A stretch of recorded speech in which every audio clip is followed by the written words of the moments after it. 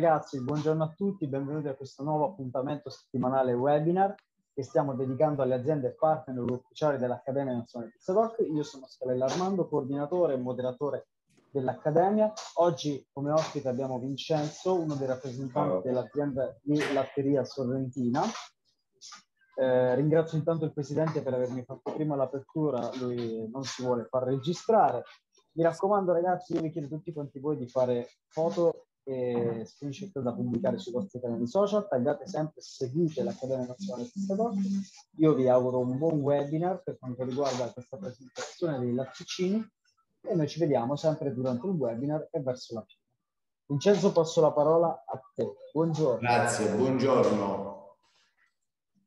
Buongiorno a tutti ragazzi, io sono Vincenzo Campaiola, eh, svolgo la mia attività di tecnico casearia all'interno del gruppo Latteria Sorrentina. Latteria Sorrentina nasce nel 1880, nasce sulla penisola sorrentina a Pimonte, dove la famiglia Modio, sin dagli inizi del 1880, faceva una raccolta latte in cui questo latte poi veniva trasformato in latticini, in fior di latte e proprio. Ad oggi l'azienda, appunto alla quinta generazione, fatta da giovani e ehm, con un unico obiettivo nutrire il futuro, nutrire il mondo. Oggi con la nostra azienda abbiamo dato ai nostri consumatori, ai nostri amici pizzaioli, ai nostri amici della ristorazione varie filiere di prodotti tra cui abbiamo qui presenti, non so se si, è riusciti a vedere bene un po' tutta la filiera di latteria sorrentina presente qui sul banco Chiaramente ogni prodotto ha una caratteristica totalmente diversa l'uno dall'altro. Una cosa importante oggi capire e classificare chiaramente i prodotti che andiamo a manipolare tutti i giorni per fare la nostra pizza e capire la tipologia di prodotto che abbiamo davanti al tagliere quando andiamo a tagliare.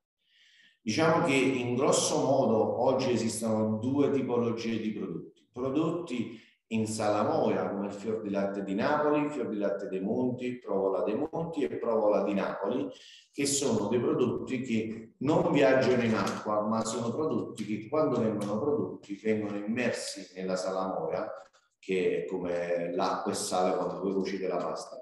Viene immerso per 5 minuti questo prodotto, viene estratto fuori dal vascone viene ancora incartato a mano e chiaramente la sapidità del prodotto resterà nella parte esterna che poi pian piano entrerà al centro del prodotto.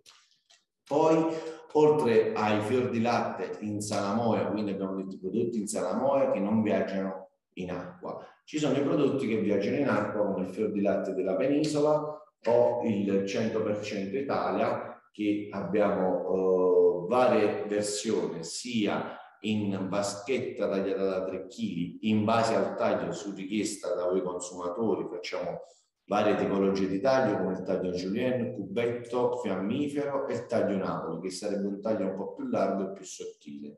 Chiaramente all'estero importiamo sia vaschette da 3 kg che vaschette, cioè che buste da 1,5 kg con il prodotto già tagliato pronto all'uso.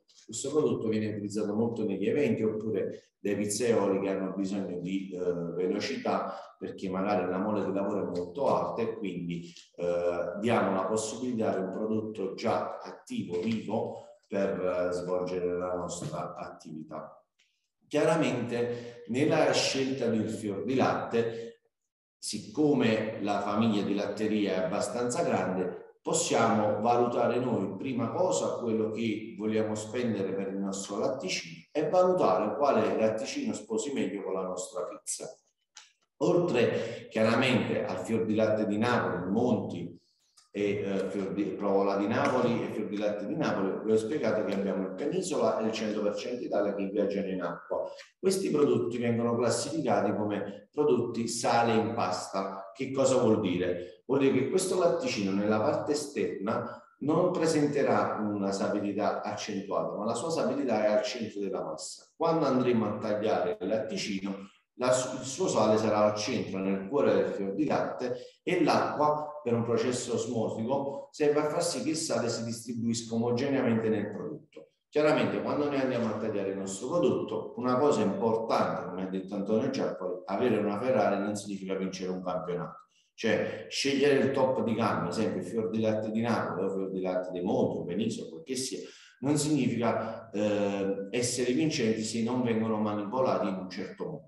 Nel senso che il fior di latte quando arriva al vostro banco va chiaramente portato a una temperatura che va dai 4 ai 10 gradi, va tagliato una volta tagliato va messo in un la pasta o in un recipiente dove il siero scende giù e la mozzarella rimane sopra.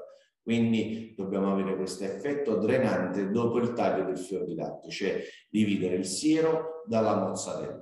Una volta tagliato il fior di latte va riposto in frigorifero con una pellicola chiuso perché se non viene chiusa questa vasca eh, dove abbiamo messo il nostro fior di latte per un processo eh, fisico tenderà ad ossidarsi con il gelo del frigo, quindi tenderà a ingiallirsi. Quindi per mantenere il prodotto sempre bello vivo, bianco, bisogna chiaramente tagliarlo, mettere una griglia di contenimento che divide il siero dalla mozzarella e celofanarlo sopra perché altrimenti il prodotto si ossida.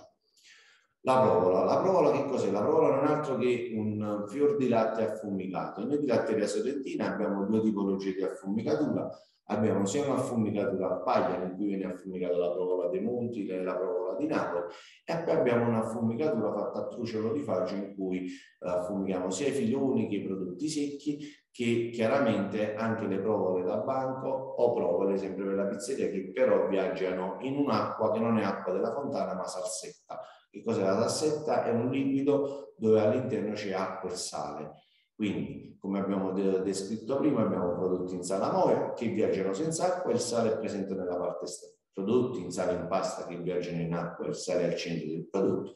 E poi ci sono prodotti in salsetta. Oltre chiaramente ai latticini di cui vi ho parlato, abbiamo anche dei prodotti speciali che sono la burrata, che noi di latteria facciamo sia una porzione da 125 o 125 per 2, chiaramente la burrata è fatta con latte di vaccino e panna, mentre anche la stracciata è la stessa cosa, sarebbe una burrata eh, tritata fatta a straccetti con un'aggiunta di panna. Mentre per quanto riguarda le ricotte abbiamo tre tipologie di ricotte e una mousse di latte. La fuscella, che è una mousse di latte, fatta con il latte di raccolta campano, che cos'è la fuscella? È la prima bollitura del latte ed è un prodotto ricco di albuline e globuline che serve per spezzare i bambini ed è uno dei primi formaggi freschi che viene dato ai bambini. Quindi è un prodotto sanissimo, controllatissimo come tutti gli altri prodotti, ma fatto con il latte di raccolta campano, sia la fuscella che il fior di latte di Napoli che la provola di Napoli. Oltre alla fuscella, che è una mousse di latte che viene chiaramente introdotta nella pizza a finitura, non chiaramente in cottura, perché è un prodotto molto tenero e molto morbido. Quindi se abbiamo l'idea di fare un ripieno fritto con la fuscella, dobbiamo amalgamarlo comunque con una ricotta un po' più tenace, un po' più dura, che altrimenti diventerà liquido e non si cuocerà bene il nostro ripieno fritto. Quindi per un ripieno io consiglio la ricotta eh, 100% Italia, che è una ricotta un po' più asciutta, un po' più pronta all'utilizzo ed è una polivalente che va bene sia per eh, prodotti eh, da fare a forno oppure chiaramente per la nostra pizza fritta.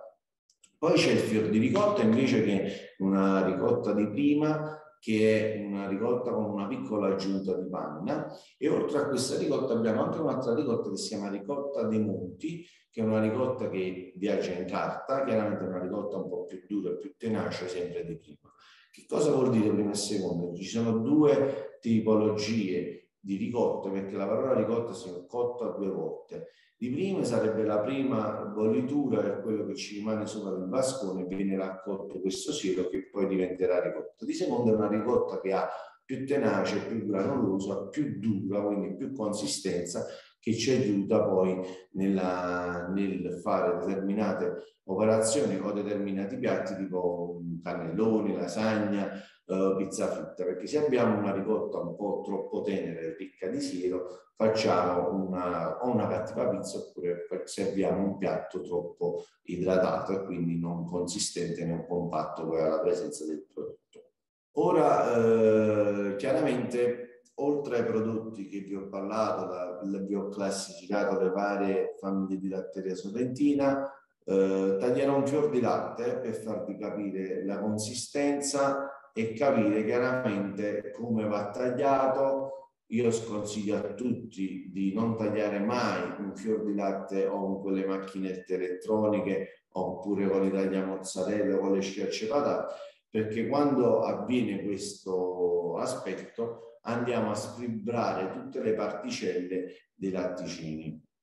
Chiaramente una cosa importante che non, non, ho detto in questo webinar è che la nostra azienda oggi importa questi prodotti in 66 paesi nel mondo, chiaramente grazie alla tecnica del frozen. Abbattiamo il prodotto a meno 26 gradi, quindi congeliamo questo prodotto e poi al momento che arriva dal cliente avviene un fattore che si chiama la decongelazione del prodotto. Questo come deve essere fatto? Abbattiamo a meno 26, chiaramente quando vi arriva il prodotto, il prodotto va immesso nel vostro frigo così come vi arriva frozen e man mano avviene la sua fase di scongelamento. Perché vi dico che deve stare in frigo? Perché tutti i latticini comunque devono stare conservati in una temperatura controllata che va dai 4 ai 10 gradi. Superati i 10 gradi all'interno di un prodotto avviene una scissione batteriologica che fa sì che il prodotto perde la sua forza, quindi la sua struttura, perde la sua cordosità, quindi la sua tenacia, nel senso più morbido, più duro, e inizia a diventare maturo, inizia a maturare. Diciamo tecnicamente è come le banane, le compriamo verdi e poi man mano si fanno gialle in casa nostra. E così chiaramente il fior di latte. La banana riesce a farsi giallo perché rimane in una temperatura alta da far sì che avviene questa scissione batteriologica e il prodotto tende a maturarsi. Nel fior di latte, per conservarlo, lo dobbiamo tenere sempre ed esclusivamente nel frigo dai 4 ai 10 gradi. Esistono chiaramente prodotti che hanno una shelf life più lunga di quel filone sottovuoto di latteria sorrentina, il filone di scamorza, che hanno una vita all'incirca di 28 giorni. Mentre per quanto riguarda i freschi, freschissimi, abbiamo prodotti che hanno una scadenza a 5 giorni e prodotti che hanno una scadenza a 12 giorni.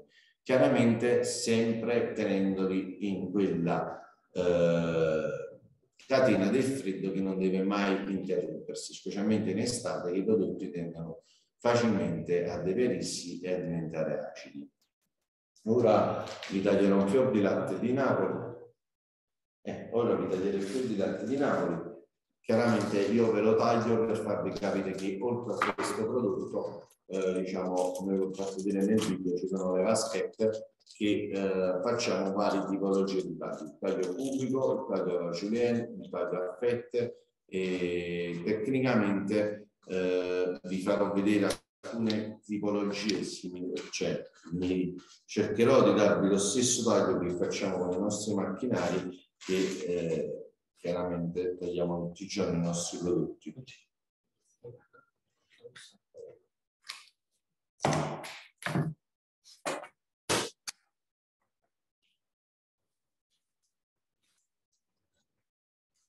Non so se si riesce a vedere bene. Questo è il nostro fior di latte di Napoli, è fatto in salamoia. La parte centrale, vedete, c'è il siero, quindi questo siero lo dobbiamo scorporare dal prodotto per far sì che abbiamo una buona pizza. Quindi va tagliato e va asciugato.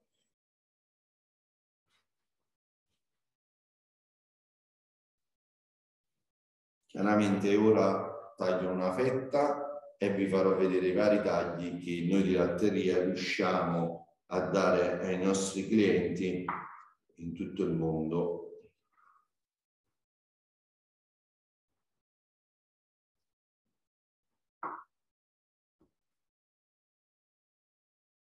Mm.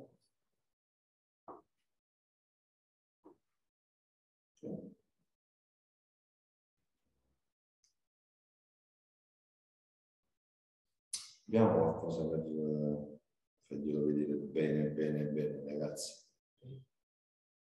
Allora.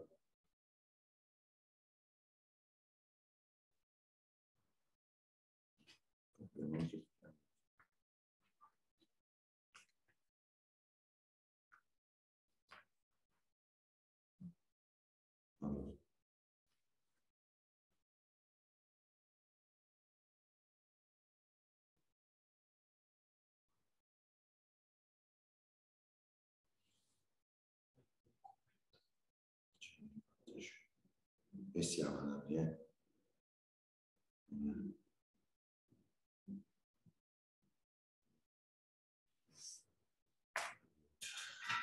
Ragazzi, non so se riuscite a vedere, la mia mano è una paletta umana, però diciamo, questo è il taglio Napoli, largo e sottile. Sì, si vede Vincenzo. Questa è una julienne classica, questo è un taglio fiammifero, vedi molto sottile e lungo, tipo a stick come le patatine, vedi molto molto molto molto sottile. E chiaramente questo è un taglio cubico che facciamo. Chiaramente questi prodotti qua eh, fanno parte della linea o 100% Italia, questo qua verde, oppure lo stesso prodotto del penisola in acqua lo tagliamo e riusciamo ad avere questi tipologie di taglio, taglio a fette, taglio a julienne. Mentre per i prodotti un po' più secchi facciamo il taglio a fiammifero o il cubetto per eh, le pizzette in bar, per quanto riguarda chiaramente il mondo della rosticceria. Domande ragazzi?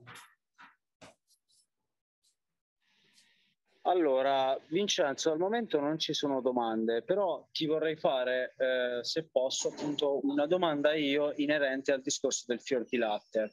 Sì. Ti volevo chiedere perché scegliere proprio appunto la tipologia che offre l'azienda Latteria Sorrentina eh, anziché un'altra? Cioè, mh, dovremmo vedere sia il discorso ovviamente qualitativo che economico, giusto? Allora, quando tu compri latteria sorrentina è come compri da un'azienda che eh, ti dà delle indicazioni che in molte aziende ancora oggi non le danno sui latticini. Valori nutrizionali, indicazioni, scheda tecnica del prodotto, quando nasce, quando muore, chi lo trasporta, il lotto in fattura, che è una cosa importantissima che voglio spiegare anche ai ragazzi, perché io faccio anche il commerciale, quindi giro tantissimo e ancora oggi mi, trova, mi trovo in grandi nomi importanti, in determinate attività, trovare prodotti che non hanno né lotto né scadenza, non si sa la provenienza, non si sa de, da dove viene il latte. Quindi quando scegli di lavorare con un'azienda come Latteria Sorrentina hai una serie di garanzie che pochissime aziende oggi in Europa riescono a darti sul prodotto, cioè la prima cosa è la tracciabilità del prodotto, il latte da dove proviene, quando è stato trasformato il latte e il prodotto finito. La scelta oggi so che è un momento molto difficile, ci sono stati tantissimi aumenti come la farina, come l'olio, anche noi abbiamo aumentato sui latticini, ma non perché vogliamo aumentare e divertirci. Il problema è un problema serio oggi, è quello che abbiamo sul caro gasolio, perché tutto quello che noi trasportiamo nelle vostre attività viaggia su Google. Chiaramente se prima un viaggio costava 1000 euro, oggi ce ne costa quasi 2000, perché il gasolio è arrivato a 2,15 euro, 2,20 euro, fino a un mese fa costava 1,70 euro. Quindi il trasporto incide molto sul prodotto, ma non solo, anche sulla plastica, sull'energia rinnovabile e quant'altro ci sono una serie di aumenti che li viviamo anche nella nostra vita quotidiana e quindi automaticamente aumentano anche il prezzo del prodotto perché viaggia su Google.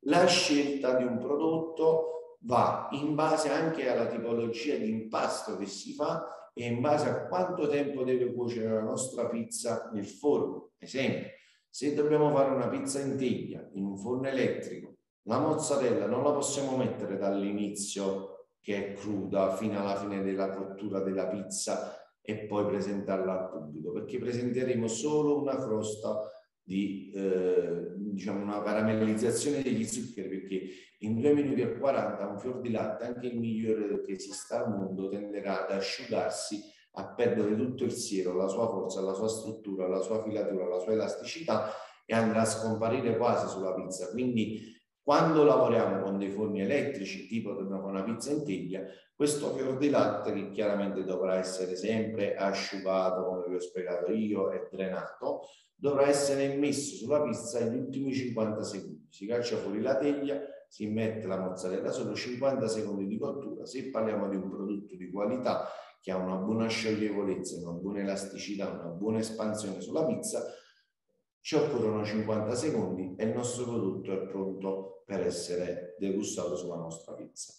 Chiaramente se fai un lavoro, per esempio, per una pizzeria di asporto, non va bene se prendi un prodotto tipo troppo morbido, tipo fior di latte di Napoli, un prodotto di eccellenza che è molto lattiginoso, molto elastico, molto morbido come prodotto, quindi una mescola morbida, mettiamo la nostra Chiaramente io lo consiglio per una pizzeria a tavola, un fior di latte del genere, perché eh, riusciamo a, a degustare tutte le sue caratteristiche tecniche e avere una buona pizza in uscita che arriva al nostro tavolo.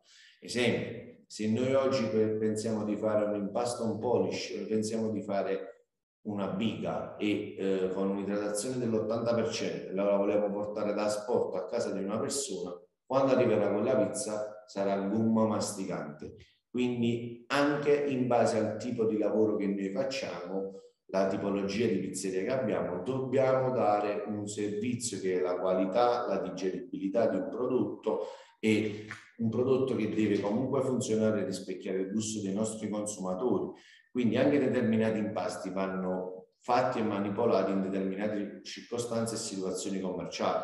Se chiaramente facciamo un lavoro di pizzeria di asporto, quindi on delivery o non so, la nostra pizzeria è proiettata sia sull'asporto che per i tavoli eh, sulla seduta nel locale, facciamo una scelta di un prodotto che non sia né troppo morbido né non troppo duro da immettere sulla pizza. Io consiglio chi ha asporto e eh, chiaramente a tavola di lavorare con un fior di latte della penisola, questo qua che vi ho fatto vedere prima, o di lavorare con un LS500 in carto verde, cioè 100% Italia, che abbiamo sia la possibilità di scegliere entrambi tagliati oppure di prenderli a bocce, perché sono prodotti un po' più asciutti, quindi più veloci nella eh, manipolazione anche della pizza, perché poi se facciamo tutti i processi che ci siamo spiegati, di tagliare il fior di latte, di farlo asciugare, però mettiamo questo vascone con la mozzarella dietro al banco, con il caldo dietro del forno, il fior di latte essendo un prodotto vivo tenderà a sudarsi, a sudare, quindi ogni volta che facciamo la pizza, poi prendiamo la mozzarella, siamo costretti ad asciugarci le mani. Quindi eh, la scelta del prodotto chiaramente è soggettiva in base a un cliente quando vuole spendere e capire anche il gusto e il grado di, eh, di prodotto che si vuole raggiungere. Arma, mi senti? Sì, sì, ti sento. Allora, vediamo un po' se ci sono delle domande. Perché si dice che sulla pizza ci va il fior di latte? C'è una storia dietro da raccontare? Sì, allora ti spiego. Uh, il nostro slogan proprio dice sulla pizza ci va solo il fior di latte. Lo spiego perché all'estero anche il fior di latte viene chiamato mozzarella ed è sbagliato, perché anche noi facciamo mozzarella sia di vaccino che di bufala. Però la mozzarella in generale è un prodotto ricco di siero, quindi molto più umido, molto più latticinoso. Quindi quando andremo a tagliare un bocconcino di mozzarella non avremo mai questo aspetto compatto come il fior di latte, ma avremo un prodotto molto tenero al centro e avremo un prodotto molto umido e molto delicato chiaramente. Che cosa succede? Che quando lavoriamo un bocconcino di vaccino abbiamo tantissima umidità, quindi lo mettiamo sulla pizza, lo mettiamo nel forno e può irrigarci la nostra pizza, non cuocerla bene al centro e avere una fuoriuscita del siero in fase di scioglievolezza del prodotto. Qua la stessa cosa accade anche con la mozzarella di bufala, però ci sono due aspetti importanti da individuare. Se facciamo tutta la, man- la manipolazione del latticino, cioè quello di tagliarlo, asciugarlo come si deve, avere un prodotto asciutto alla sera per fare una bufalina, oppure una pizza fatta con mozzarella di vaccino, oppure una pizza fatta con misto bufala, possiamo Chiaramente metterlo sempre sulla pizza. Però che cosa avviene? Su una pizza dove mettiamo il vaccino abbiamo un prodotto che tenderà ad espandersi velocemente e molto umido. La stessa cosa se mettiamo un bocconcino di misto bufala, la stessa cosa se mettiamo la mozzarella di bufala che perderà chiaramente sempre questo siero. Quindi anche sull'aspetto economico, se io compro un chilo di mozzarella, faccio un esempio che costa 10 euro, lo taglio solo nel taglio per 200 grammi di siero, vedete che quegli 800 grammi, cioè quelle 8 pizze, ci costano 12 euro di latticini. Il fior di latte serve uno per migliorare quelle che sono le aspettative del food cost all'interno della vostra attività. Due, per non avere una resa maggiore sulla pizza, cioè mettere più poca mozzarella, cioè più poco fior di latte su una pizza, scegliere un prodotto di qualità che comunque abbia una fase di espansione, di elasticità e di filatura corretta. E tre, sconsiglio la mozzarella di bufala in cottura perché quando andiamo a cuocere la mozzarella di bufala rispetto alla mozzarella di vaccino, nella fase di raffreddamento la mozzarella di bufala tende a ristringersi e chiaramente ha un aspetto molto gommoso quando la andiamo a masticare. Io vi parlo se la mozzarella chiaramente viene cotta all'interno del forno. Io la mozzarella di bufalo o di vaccino di Mr. Buff lo consiglio sempre all'uscita della pizza, ma non in cottura. In cottura per me c'è bisogno del fior di latte o della provola se facciamo una salsiccia farina. Armando? Allora, vado a leggere. Allora, per fine diretta, ci può dire i rivenditori di zona? Ad esempio, io mi trovo su Pescara. Sì. Armando? No, eh, se può dire un po' mh, nel senso in generale? Cioè si trova da, dappertutto. Non ho capito la domanda, Armando. Ti chiedono se puoi elencare in maniera, ehm, diciamo, un po' espli- esplicita, in un certo senso, in che zone sono coperte dal, ehm, dalla, dal poter prendere, da poter reperire il suo prodotto. Allora, sicura, sicura al 100% tutto metro Europa, in tutti i punti metro ci sono i nostri latticini latteria sorrentina. Se parliamo per un, un'attività che cioè, esempio, se è quotidiano, se eh, chiaramente è un'attività. Se è un'attività o una pizzeria che possono interessare i nostri prodotti, basta mandare un'email a info.audiogroup.com e eh, trovare chiaramente un distributore di zona che tratta i nostri latticini o essere un canale diretto con l'azienda e eh, far sì che chiaramente si mettano in comunicazione per gli scarichi e quant'altro.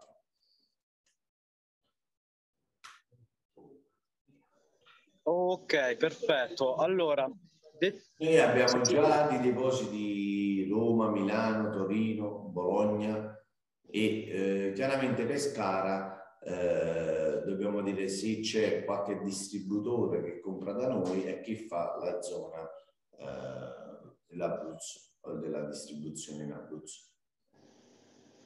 Siamo un'azienda molto grande e capillare con chiaramente vari distributori sul territorio, anche in Spagna, in Francia, Dubai, Cina, Corea. Ti chiedono se online avete anche un distributore. Dobbiamo chiaramente avere le notizie, scrivere un'email all'azienda e poi c'è una persona che è addetta a questo e vedere la logistica e chiaramente il distributore più vicino a voi se può venire a seguire. Queste sono notizie che devono mandare l'email in azienda. Ok, perfetto. Allora, Gaetano, se non ci so- eh, scusami Vincenzo, se non ci sono altri, io perché leggo sempre Gaetano sul, sul nome del, del, del profilo, quindi mi, mi, sfugge sempre il nome. Allora, Vincenzo, se non ci sono... Allora, eccolo qui un'altra domanda. Io uso il fior di latte a cubi della latteria Solentina in Polonia. Abbiamo deciso a cubi dopo varie riflessioni. Cuociamo la nostra pizza a 400 gradi. È stata una scelta corretta? Se ti trovi bene e il prodotto si scioglie bene e ti dà il tuo requisito, penso che avrai scelto un prodotto giusto, altrimenti non staremo ancora a servirvi. Puoi scegliere anche i julienne, non solo il cubetto, eh, poi un aspetto visivo, estetico che è soggettivo. Chiamo di più il julienne, poi ci chiama di più il cubetto, però renderla più originale perché anche questo è il lavoro delle aziende è mantenersi fedele alle origini, alla tradizione del fior di latte uno è libero di scegliere il taglio se deve essere pubblico o a julienne. A me chiaramente piace più a julienne su una pizza. Ok. Più artistico. Allora Vincenzo, io se, penso che comunque sia stato abbastanza esplicito È molto limpido ciò che appunto hai spiegato e detto durante questo webinar. Eh, tutto ovviamente è rimasto nella registrazione, quindi sarà visibile tranquillamente su YouTube. Se non ci sono altre domande, ragazzi, io eh, diciamo che a me Vincenzo, io già lo, con- già lo conosco fondamentalmente, so che nelle spiegazioni lui è completo ed è esaustivo già di suo in un certo senso. Cioè, sì. eh, provargli, provargli, la domanda è abbastanza... Armando, veramente è totalmente diverso vedersi in monitor e sentire i profumi della nostra terra, dei nostri prodotti dal vivo. Tu sei stato allora, uno dei primi a degustare i nostri prodotti e ci puoi dare la conferma di quello che ci siamo detti in, questa, in questo piccolo frangente di tempo. Allora, io vi posso dire che durante i corsi, sia master istruttore che di specializzazione, ogni qualvolta Vincenzo portava i suoi prodotti e li faceva assaggiare, finivano. Quindi cioè, eh, facevano le pizze senza fior di latte. Il presidente dice: Vincenzo, il fior di latte, tanto che l'ho portato, se lo sai mangiare a crudo. Loro hanno fatto le pizze. No, eh, io a nome dell'Accademia, appunto, come direbbe anche il Presidente, siamo veramente contentissimi di avere un'azienda eh, forte, un'azienda reale, soprattutto un'azienda artigianale a livello veramente alto. Detto questo, Vincenzo, io se per te va bene posso concludere facendo anche i saluti ti ringrazio Vincenzo della partecipazione, della, grazie della spiegazione. Ragazzi, il video sarà pubblicato su YouTube, la registrazione, mi raccomando lasciate un bel like e un commento. Noi ci vediamo al prossimo appuntamento webinar, restate aggiornati seguendo l'Accademia, il profilo dell'Accademia Nazionale Pizza Doc, fate storie sui vostri canali social, fatemi sapere cosa ne pensate del webinar, io ringrazio Vincenzo. Ringrazio tutti quanti per la partecipazione. Fateci sapere tra i commenti cosa ne pensate su YouTube e noi ci vediamo al prossimo webinar.